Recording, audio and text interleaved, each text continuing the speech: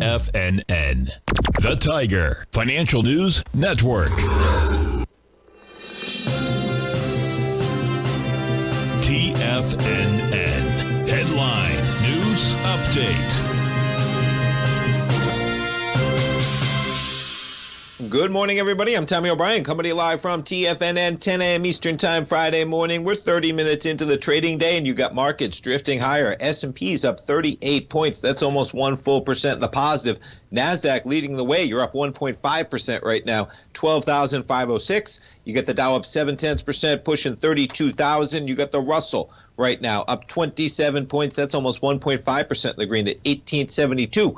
Jumping back to the S&P, quite an acceleration from the highs of August 16th. We accelerate to a low made this week, 38.86. About whether it was uh, where we were finishing out Tuesday action into the acceleration that began on Wednesday Right now, we're coming right into a potential 382. Our man Larry Pesavento, folks, is filling in next from 10 till 11 o'clock in the morning. Uh, jumping around to some of the commodities. Crude up 258 right now. You see that crude contract interesting in terms of you're talking about going back to where we were, folks, almost a year ago. The high from October of 2021, about 85 bucks. We just dipped below that level. We are back now above that price level at 86.10 in crude.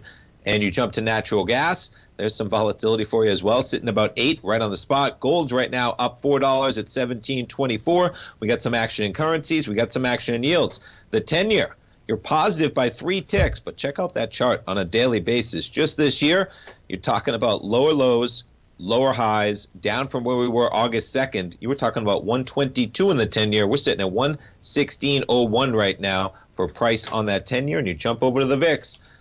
As the markets rise, the VIX back to 2287, well off where we were, almost pushing 28 just a few days ago on September 6th on that volatility volatility index. We jump over to the dollar index right now, DXY.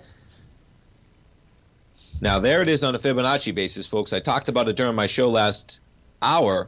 I mean, you're going to have lower moves here. But boy, the trend is higher price, higher highs, higher lows. Right now you're backing off a bit, but even if you pull back to 104.50, folks, all that is is a 382 of the move you've been in over the last six or seven months. Not sure we're going to get even there.